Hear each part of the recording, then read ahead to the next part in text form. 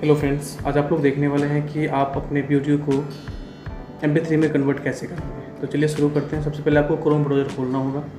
Chrome browser खोलने के बाद आपको टाइप करना होगा video to M three converter जब ये आप सर्च करोगे तो इसके बाद आपको कुछ ऐसा इंटरफेस आएगा। इसको ऊपर वाले को क्लिक करना है। यहाँ पे आपको देखिएगा video to M P three इसको यहाँ पे चूज़ फ़ाइल का ऑप्शन है, उस पर क्लिक करिए।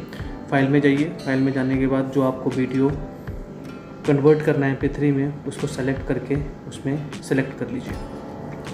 जब सेलेक्ट हो जाएगा, यहाँ पे देखिए, यहाँ पे लिखा है कन्वर्ट टू एम थ्री उस पर क्लिक करना है।